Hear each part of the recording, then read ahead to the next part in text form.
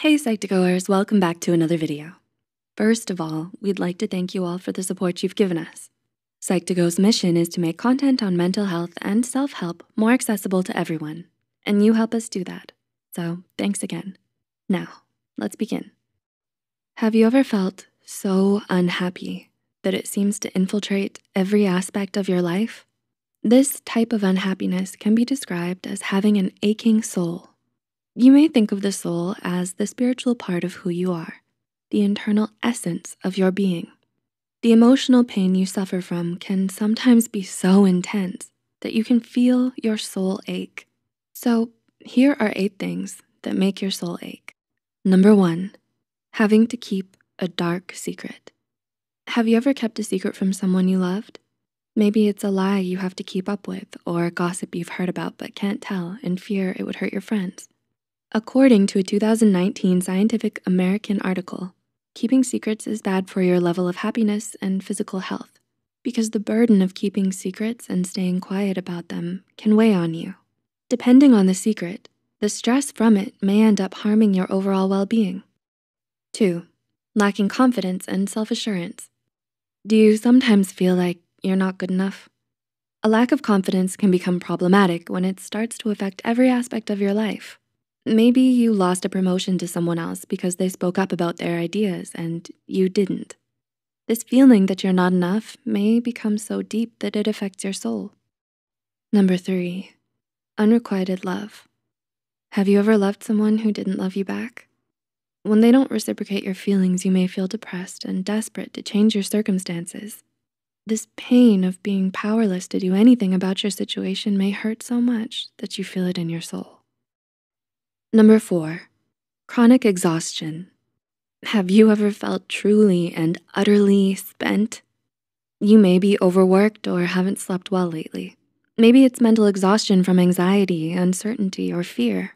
Whether physical or mental, this type of exhaustion where you don't get the energy, sleep, or mental peace you need can develop into an ache in your soul. Number five, having to act or appear a certain way. Have you ever tried to fit in with a certain group who you had little in common with? Maybe you tried hanging out with the popular kids in your school, or you had to suck up to management at work. Whatever the case, it can be exhausting and soul aching to need to keep up a certain persona in front of others. It may feel like you're constantly walking on eggshells and are unable to relax in your own body. Number six, being misunderstood. Have you felt isolated or sad when no one seems to understand what you're going through? Human connection and a sense of understanding may be more important than you might realize. Mutual understanding and care is significant, and without it, you may end up with the soul aching sensation of being misunderstood and alone in your thoughts and feelings. Number seven, a disorganized environment.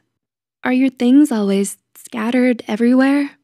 Spending too long in a place or situation that's chaotic and disorganized can take a toll on you. It may be the stress of not knowing where things are or feeling uncomfortable in your environment.